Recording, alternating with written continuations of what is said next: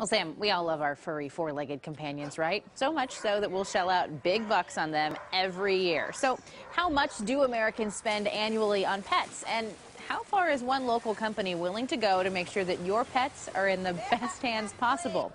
We went to a local pet resort to get answers.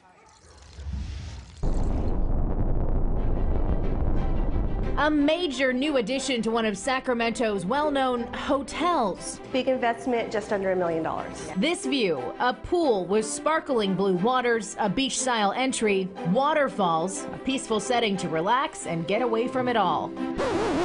But it's not for humans. Here we go, guys!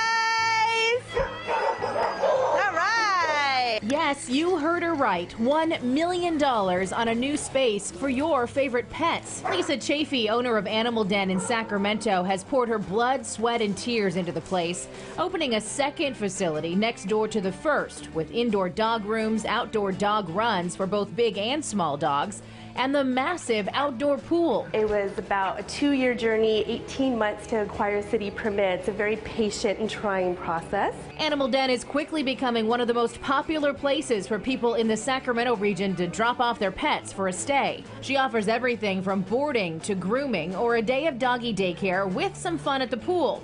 And she says her almost $1 million investment is worth it. Business is booming. People travel with their pets. They include their pets in family photos. They buy Christmas, pet, Christmas gifts for their pets.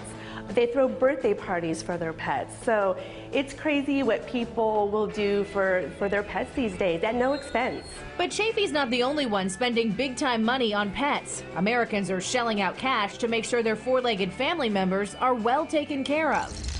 So, how much do we spend on our pets every year? In 2014, Americans spent $58 billion on their 397 million pets. So, what was that $58 billion spent on? 22 billion on food, 15 billion on vet care, 14 billion on supplies like beds, bowls, collars, and over-the-counter medication, 5 billion on other services like grooming, boarding, walking, training, daycare, and pet pampering and 2 billion on purchasing animals themselves. And Debbie Sievers agrees. She shells out for her four and a half year old standard poodle, Stewie, who's a regular at the animal den. I paid for childcare for my children, and, uh, you know, of course I pay for it for my dog. Notice Stewie's haircut? He's one of many dogs whose owners are spending money on special services like facials, massages, haircuts, and dye jobs. He's a standard poodle with a unusual haircut.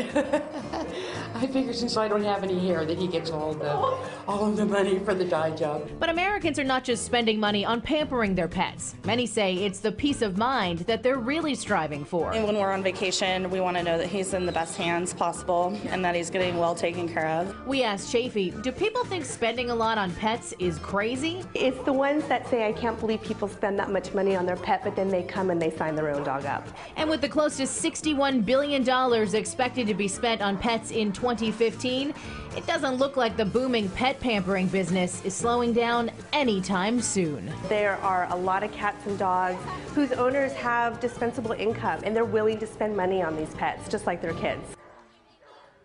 Now to learn more about the Animal Den, just head to our website, cbs13.com. Dave? All right, Chris.